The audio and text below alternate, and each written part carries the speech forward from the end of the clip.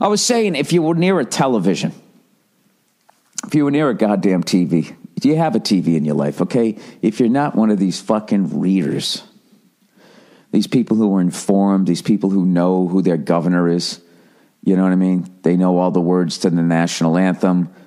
Uh, you know, they've memorized all the flags around the world. You know those people?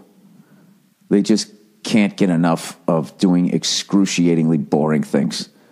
You know, they they they fucking they're the kinds of people that when they buy something they like read the instructions, the whole fucking book. They they know how their whole phone works. All these are all the, these are all the people that you know. You don't really hate them, which you you really you hate yourself because you know they're doing the right thing. There's nothing worse than when you're a fucking dope like me to be near somebody that is doing the right thing. Because when you see them doing the right thing, there's that voice in the back of your head that you really try to drown out.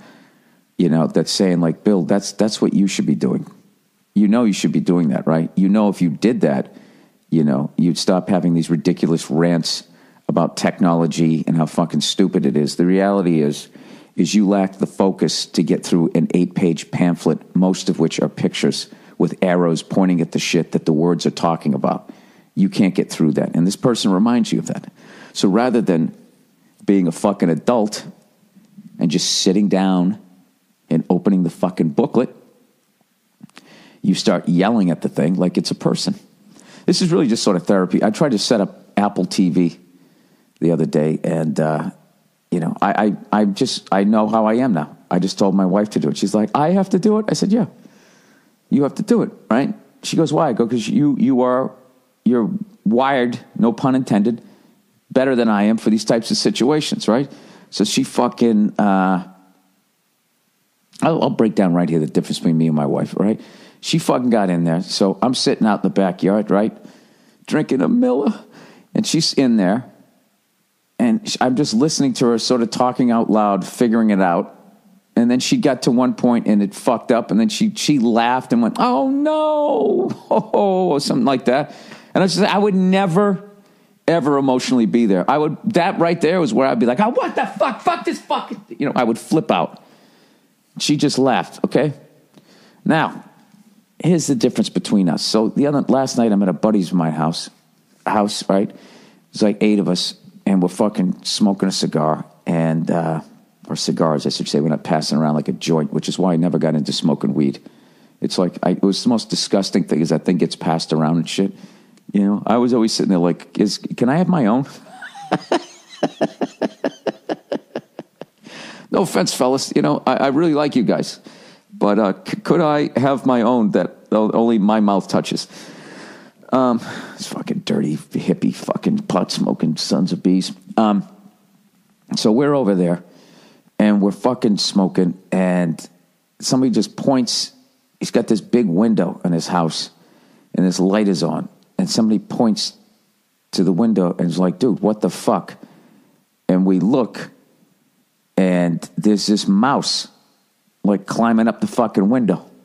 And ironically enough, we were just talking about working with monkeys, you know, in movies and shit, and like and wild animals and stuff. And we, I was talking out, I would never fuck. That's a deal breaker. I don't give a fuck how much money. There's no fucking way I'm working with the monkey because those things routinely fucking just they snap. You know what I mean? Everybody looks at, oh look, he's got a little hat on and a vest. Somehow it's not a chimpanzee anymore that has the ability to rip my foot off my body. Fuck that thing. Fuck that thing. All right. I'm not working with it. I just got done saying that. And then when we saw the mouse, it all went out the fucking window. Next thing you know, we're trying to corner this thing, right? This is when you really realize what people are like when you get into like a crisis like this. So I got this Tupperware thing. I don't know why I didn't grab like a mop handle or something, but I'm in shorts and shit. And all I'm thinking is that this fucking thing bites me. Do I got to get those 70 rabies shots to the stomach? Um, and I'm sitting there, right, the fucking liberal, trying to capture this thing and shoo it out the window. And then my buddy, the conservative, is fucking goes.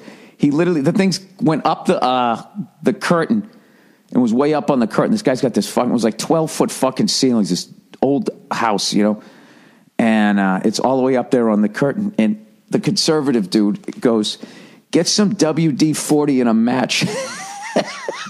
It's like, and he was serious. It's like, dude, you want to burn this? You want to hear the sound of a mouse burning alive? You want that on your fucking hard drive? Not to mention, it's on curtains. You know, I don't know what sort of sniper you think I am with this fucking shit. I'm, I'm not doing that. So, anyways, so the thing fucking like lightning quick. Like I threw the Tupperware at it to get it to crawl back down the curtain. We're like, where is it? Where is it, dude? And like fucking Barry Sanders zigzags between all of us, takes off down the hall, and goes through the only open door into the bathroom. So then my buddy's in there. He's got it, and he's got like the fucking Tupperware thing.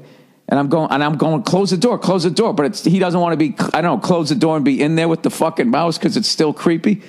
So I'm going, shut the fucking door, shut the fucking door. And he, uh, he won't shut the door. And all of a sudden the thing starts running out. And I gave it the old fucking right pad save kicked it back into the room, right? It was like kicking a sock too. You could I could barely feel it.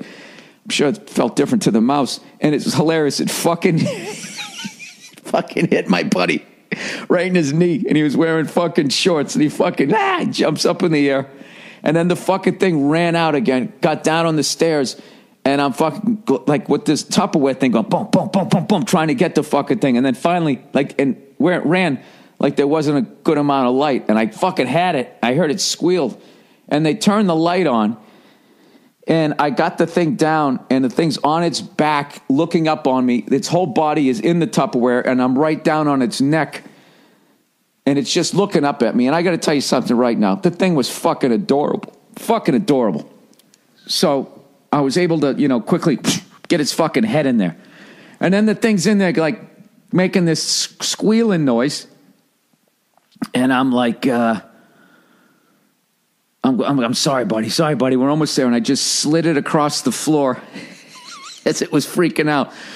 So I get it all the way to the door. And then there's, you know, that, that piece of wood there between the door and outside. Now I got to fucking lift it up. I start to lift it up. Immediately, its fucking gross tail is sticking out.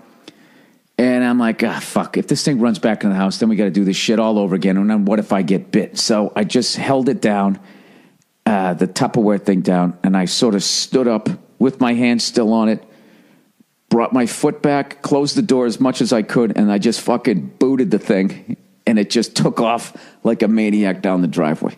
And the mouse lived, lived to tell another fucking tale. And um, that's what I'm good at.